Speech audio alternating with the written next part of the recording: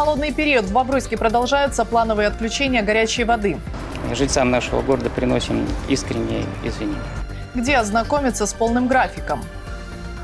Опасный момент. В спальном районе города под колеса авто попал подросток. При пересечении проезжей части дороги необходимо снизить скорость движения. Кто неправильно оценил обстановку на дороге? Дотронуться до облаков. Сезон прыжков с парашютом открыт. Также можно на планере полетать, на самолете. Как осмелиться? А также плюс одна, популярные отрасли и вопрос на контроле. Декада кибербезопасности началась в Беларуси. На что направлен комплекс мер?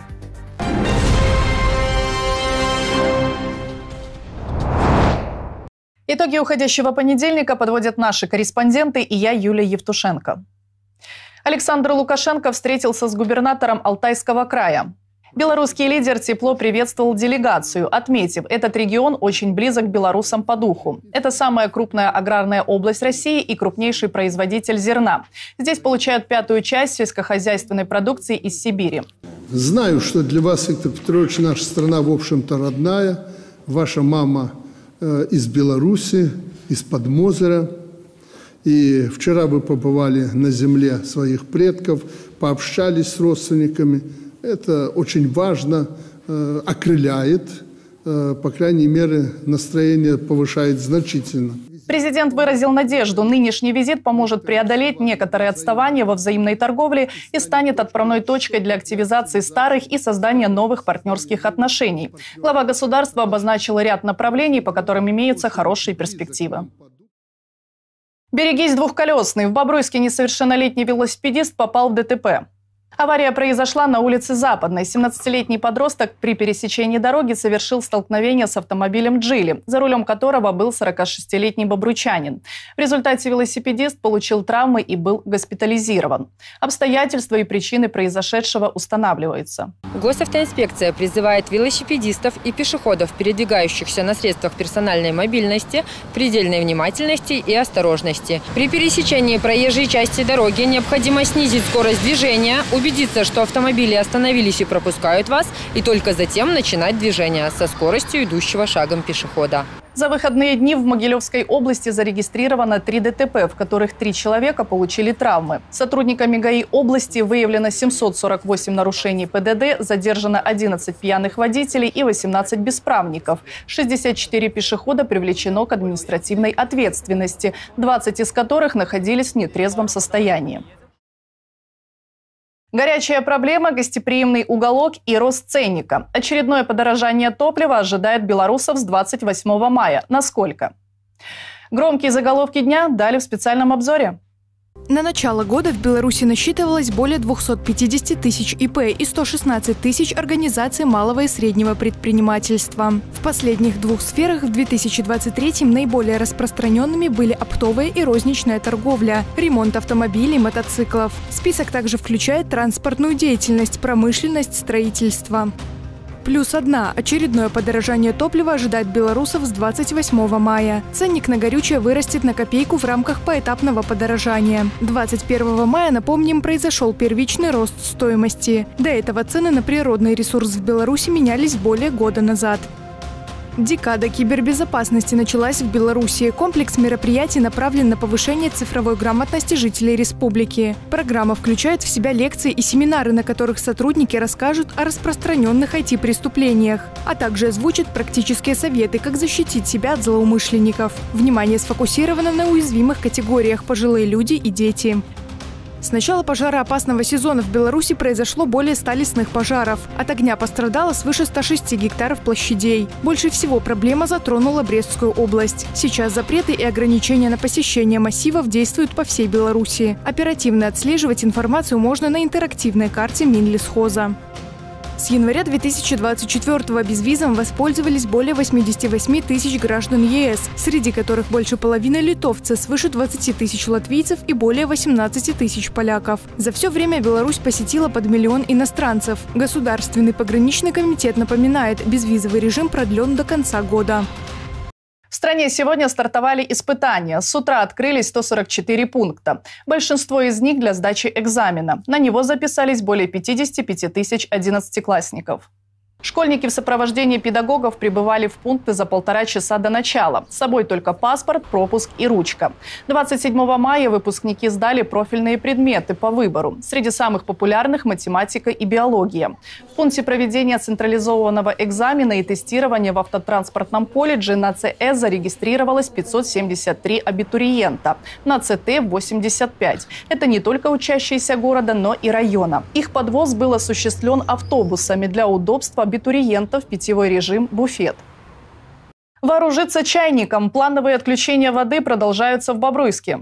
Временные неудобства связаны с проведением ремонта теплотрасс БТС. С 27 мая по 6 июня, а также 10 и 11 числа горячее водоснабжение временно исчезнет в микрорайонах с 1 по 4, Западном, на улицах Шиной, Гагарина, Ульяновской, Горелика, Наумова, Панова. Инженеры проверят трубы на предмет повреждений, так как вода подается в жилые дома под большим давлением, из-за чего подземные артерии деформируются и могут дать течь. В текущем году для обеспечения надежной работы тепловых сетей нашего города запланирована замена порядка 7 километров э, тепловых сетей по э, капитальному строительству, э, по результатам которых надежность обеспечения горожан нашего города как тепловой энергией, так и горячей водой на порядок улучшится. За причиненные неудобства жильцам нашего города приносим искренние извинения.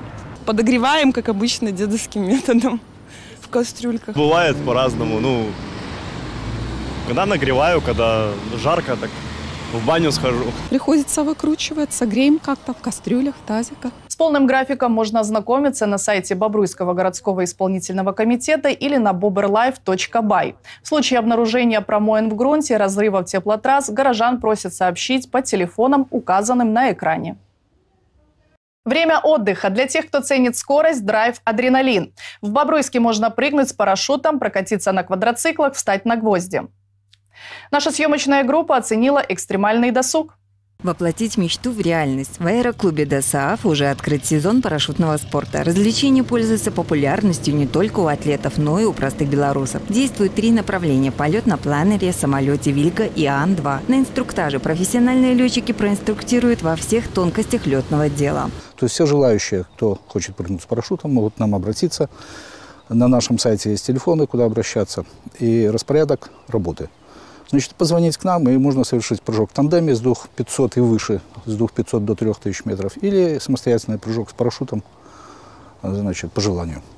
Также можно на планере полетать, на самолете.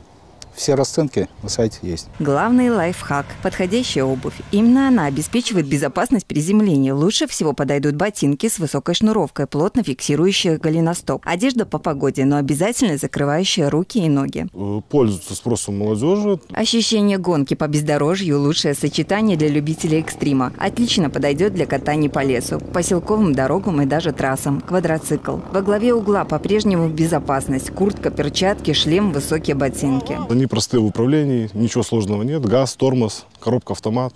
То есть, ну, интересная игрушка, скажем так. Права нужны тракторные любой категории, либо э, водительское удостоверение обычное, э, подходят все категории, кроме А1 и АМ. Мы ездим по маршрутам, чтобы это была э, локация разнообразная, чтобы было и э, какая-то полянка, и лес, и какой-то песчаный карьер, и озера, и, ну, как бы у нас здесь все есть.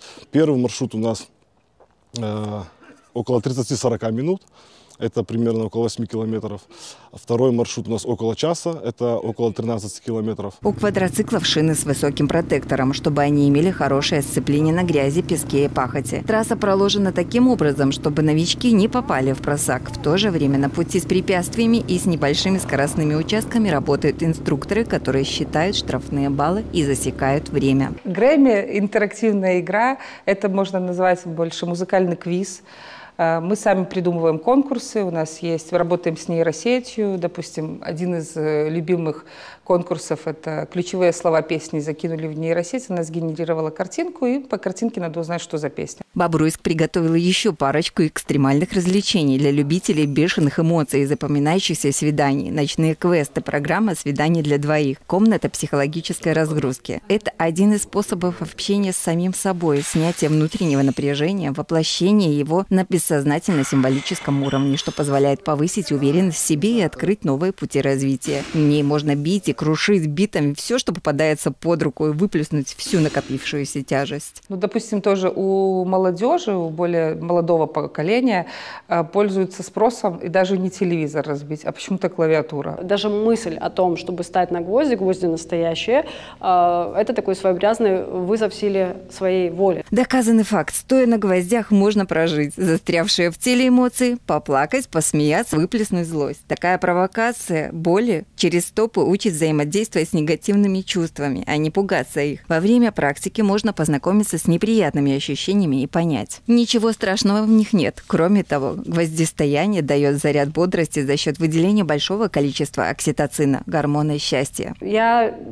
считаю, что, наверное, вот эта первая практика и дает вот эту популярность гвоздистоянию, потому что, по сути, люди, которые пытаются годами избавиться от какой-то своей психологической проблемы, решают свой вопрос там, за один-два часа да, и, в принципе, начинают жить совсем другой жизнью, э, избавляясь от вот багажа вот этого старых программ, которые в тебе заложены. Аэрохоккей, теннис, игровые приставки, кинотеатры совместили в себе массу развлечений. Чем занять руки, чтобы голова не болела? Проблема увлечений сегодня актуальна, как никогда. Еще в начале пандемии, когда все оказались буквально запертыми дома, остро стал вопрос, что делать. Молодежи пришлось самостоятельно организовывать рабочий процесс и, самое главное, отделять его от отдыха. Состояние домашнего комфорта стало нормой. Проще остаться дома и посмотреть YouTube. Собрать себе себя обратно, попробовать что-то новое. Сложно и страшно, учитывая выбор среди развлечений стремительно растет. А может быть он настолько огромен, что кажется слишком доступным, оттого неинтересным. Ирина Журавлева, Елизавета Житкова, Станислав Чечерин, Бобруйск 360.